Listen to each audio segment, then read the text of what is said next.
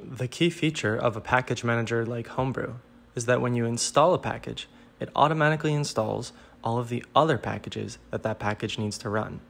So, when you uninstall a package, then what happens? Well, Homebrew does not automatically uninstall dependencies of packages. Let's try it out with an example. So, first let's run brew install wget, which is a common program used to download files using the terminal.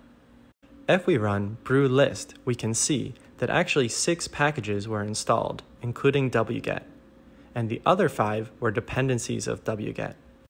If we want to see all the dependencies of wget, we can just run brew deps wget. So now let's run brew uninstall wget and see what happens. Well, only wget was uninstalled, leaving the other five packages untouched.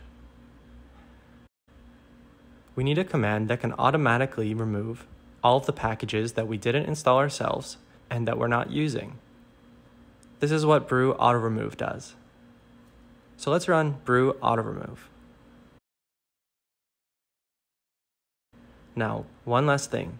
Installing all these packages caused Brew to download files from the internet.